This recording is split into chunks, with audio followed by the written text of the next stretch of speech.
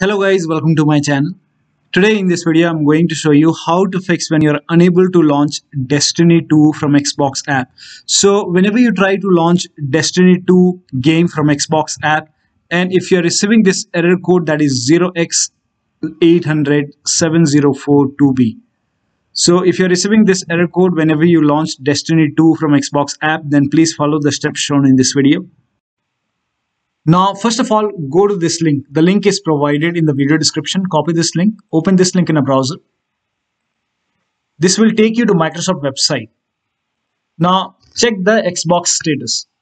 Now, if all the services are up and running, that means there is no issues from Microsoft side.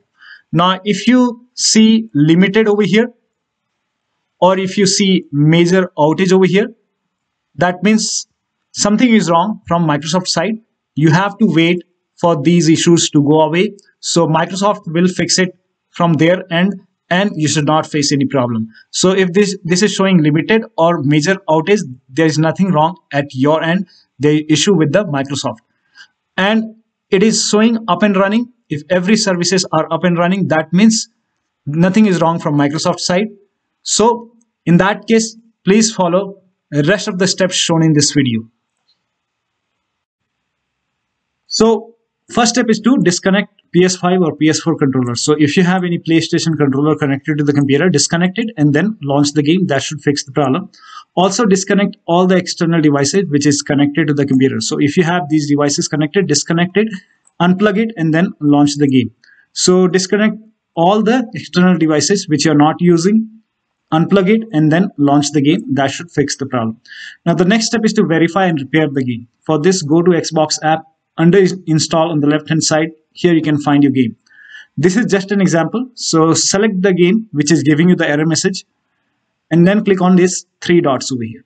Or you can simply make a right click then click on manage. Now go to files and then click on verify and repair. Now click on yes. Now launch the game.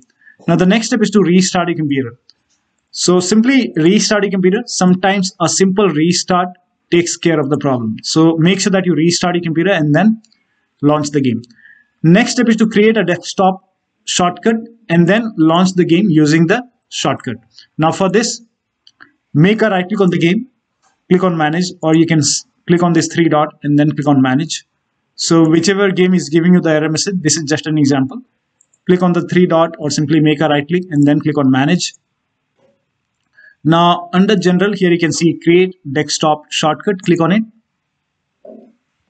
Now this will create the desktop shortcut. Now go to desktop. Make a right click on the game. This is just an example. Make a right click and then click on run as administrator. So run the game as an administrator using the desktop shortcut. This has worked for many players so it might work for you. Now the next step is to repair or reset the game. So whichever game is giving you the error message, first of all, go to the start menu, then click on settings. Now go to apps and then apps and features. In the search box, you can find the game. So find the game in the list or you can simply write down the name of the game. This is just an example I'm showing for Minecraft launcher. So whichever game is giving you the error message, find that game in the list and then in Windows 10 simply click on it. Then you will see the advanced option. In Windows 11 click on this three dot and then click on advanced option. Scroll down. Here you can see the repair option. Click on repair. And after the repair launch the game. If that does not resolve the problem then click on reset. Reset. After the reset launch the game. Now the next step is to delete Microsoft Store local cache file for this. Go to this location. So open file explorer on your computer. Then go to this PC open C drive. Now open users folder and then open your username folder. Now open app data folder. Now, if you don't see the app data over here, in that case, in Windows 10, somewhere over here, you will see view option. Click on view and then put a check on the box which says hidden items. In Windows 11, click on view over here, select show and then put a check on hidden items. And then you should be able to see app data over here. Open app data now open the local folder. Now open the packages folder. Now find this Microsoft Windows Store and this alphanumeric characters. So find this folder. So scroll down.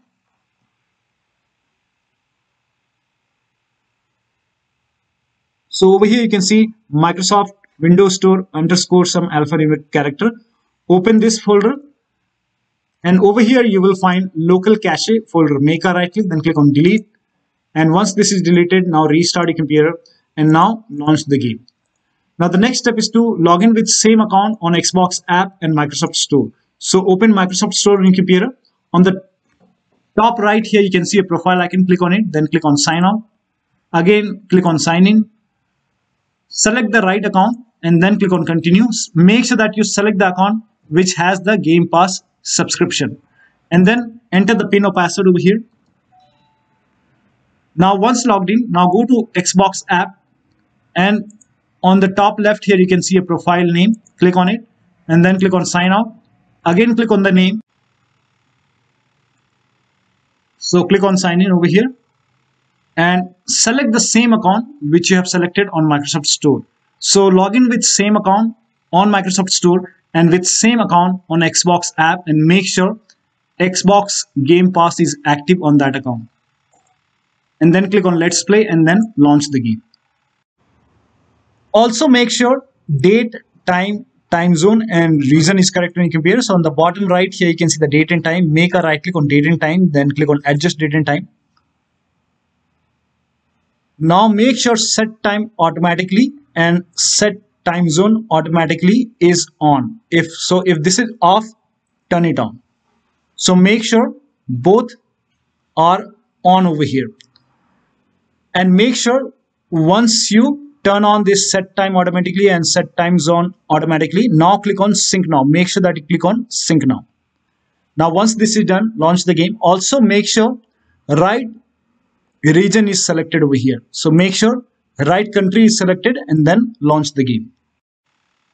Now the next step is to install all the updates in Microsoft Store. So open Microsoft Store on your computer. On the bottom left here you can see library option. Click on library. Now, once you click on library on the top right here, you can see the option which says get updates. Now click on get updates. And once all the updates are installed, restart your computer and then launch the game. Now the next step is to update your Windows to the latest version. Now this is important. Go to the start menu, then click on settings. Now in Windows 10, you will find update and security option. Click on update and update and security. In Windows 11, click on a Windows update and then click on check for update. Once all the updates are installed over here, now restart your computer and then launch the game. Next step is to run ws reset command. So type in ws reset in Windows search box and then click on ws reset. Now this will open this black screen. Do not close this black screen. This black screen will go away and it will open Microsoft Store on your computer. Now over here you can see the black screen is gone and it's opening Microsoft Store. Now try to launch the game.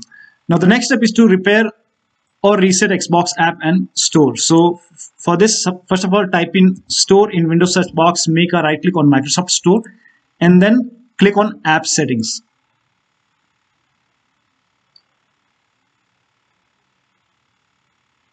Now on this page, scroll down here, you can see the repair option, click on repair. After the repair, launch the game. If that does not resolve the problem, then perform reset, click on reset, reset. After the reset, launch the game. Do the same thing with Xbox apps. So type in Xbox app, again make a right click, then click on app settings.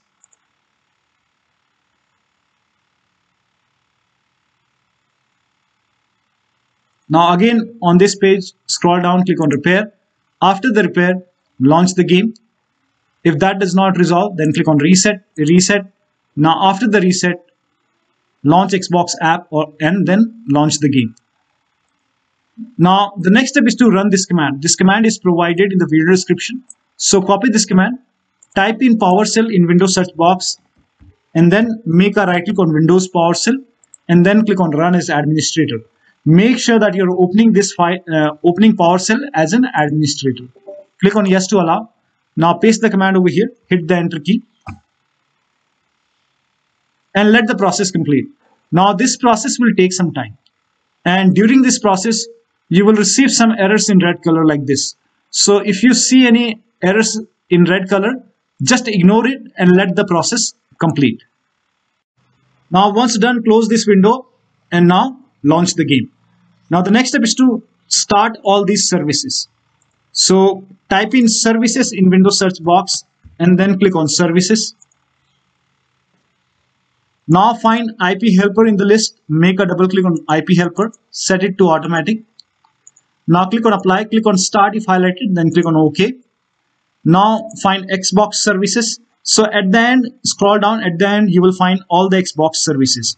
So make a double click on each Xbox services, set it to automatic, apply, click on start if highlighted, and then click on OK. Now again, set it to automatic, apply, click on start if highlighted, then click on OK. So make a double click on all the Xbox services, set it to automatic, apply, click on start, and then click on OK. So if you find more Xbox services, do the same thing. Set it to automatic, apply, click on start, and then click on OK. Now find Windows Update in the list, make a double click on Windows Update, set it to automatic, click on apply, click on start if highlighted, then click on OK. Now find gaming services. Now make sure gaming services are running over here. If not, make a right click, then you will see the start option, click on start. If this is already running like this, then make a right click, then click on stop. Again, make a right click, then click on stop. Now again, restart the service. Make a right click, then click on start or restart. Again, click on start or restart. Now find Microsoft Store install service. Make a double click, set it to automatic. Click on apply, click on start if highlighted, then click on OK.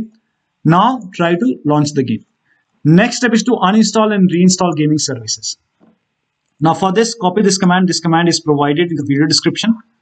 Now type in PowerShell in Windows search box, make a right click on Windows PowerShell, then click on run as administrator. Click on yes to allow. Now paste the command over here, hit the enter key. Now this will uninstall gaming services. Now after this, on the same window, copy this command, paste it over here, hit the enter key. Now this will open Microsoft Store on your computer. And then you will see the install option to install gaming services. So click on install, click on yes to allow. Now let the download complete. Now once the download is complete, now you can launch the game.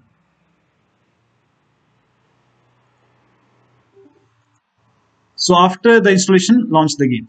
Now the next step is to install Xbox Identity Provider. So copy this link. The link is provided in the video description. Open this link in a browser. It will take you to Microsoft website. And click on Get in Store app. Now this will prompt you to open Microsoft Store. So click on Open Microsoft Store. And if Xbox Identity Provider is not installed, if this is not installed, over here you will see the install button. If you don't see the install button, that means this is already installed. So if you see the install option, click on install. If you don't see it, just ignore it. Now the next step is to uninstall and reinstall the game. So for this, go to the start menu, click on settings, apps, apps and features. Now find the game in the list. So whichever game is giving you the error message or whichever game is not running, find that game. This is just an example. You select your game and then click on this three dot and then click on uninstall. In Windows 10, simply click on it, then you will see the uninstall option. Now after the uninstall, restart your computer. And after the system restart, open Xbox app and then reinstall the game and then check. Now the next step is to update Windows using media creation tool. If you have Windows 10, copy this link. If you have Windows 11, copy this link. Windows 10 users, go to this website. Here you can see media creation tool. Click on download tool now and then run this exe file. Then you will see the screen. Click on accept. By default, upgrade this PC now would be selected. Click on next. It will start downloading Windows 10 along with the latest update. Now this process will take some time. Now once the download is complete, before the installation, you will see this screen which says ready to install and by default the option to keep personal files and app would be checked. When this is checked, you will not lose any data on the computer. So click on install and once the installation is complete, log into your computer. Now for Windows 11 users, go to this website. Here also you will find media creation tool. Click on download now and then run this exe file. Click on yes to allow. Now this will load Windows 11 media creation tool. Now click on accept. By default Windows 11 would be selected. Click on next. Select ISO file then click on next you can save the location. You can set the location as desktop and then click on save over here. Now once the download is complete click on finish and then go to desktop find windows iso file. Make a double click on windows iso file. Then run the setup file make a double click on setup file. Click on yes to allow. This will load windows 11 now and here you can see install windows 11 click on next. It will check for update then click on accept. Again it will check for update. Now before the installation you will see the screen which says ready to install and by default the option to keep personal files and app would be checked. When this is checked you will not lose any data on the computer. Click on install. After the installation log into your computer so one of the steps should help you to launch Destiny 2 successfully from your Xbox app and you should not receive this error code anymore. So that'll be all. Thank you so much for your time and please like this video and subscribe to my channel.